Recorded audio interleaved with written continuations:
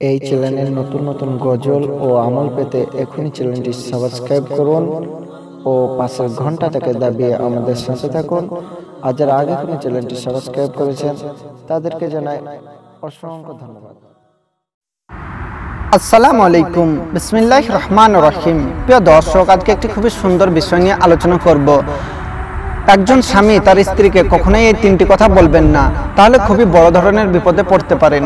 সেই তিনটি কথা কি কি আজকের এই ভিডিওটিতে আলোচনা করব। তাই ভিডিওটি শেষ পর্যন্ত দেখার অনুরোধ রইল। তার আগে ছোট্ট একটু রিকোয়েস্ট যিনারা কোনো চ্যানেলটি সাবস্ক্রাইব করেননি ভিডিও নিচে লাল রঙের সাবস্ক্রাইব বাটন রয়েছে, সেখানে ক্লিক করে আমাদের সাথেই থাকুন। তো চলুন বন্ধুরা, ভিডিওটি শুরু করি।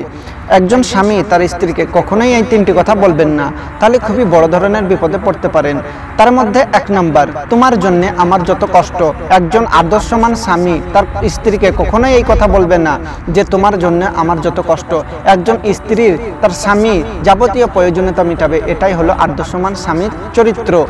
দুই নাম্বার, তুমি কুলক্ষণে একজন স্বামী তার স্ত্রীকে কখনোই বলবেন না যে তুমি কুলক্ষণে। তুমি আসার পর থেকে ব্যবসায় উন্নতি হচ্ছে না, ব্যবসা ভালো চলছে না, ব্যবসায় উন্নতি করার মালিক হলেন আল্লাহ, তাই কোনো মানুষকেই কুলক্ষণে বলবেন না।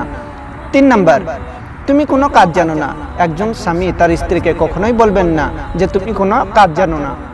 ভালোবাসা দিয়ে সমস্ত কাজকে জয় করা যায়, কিন্তু রাগ দিয়ে নয়।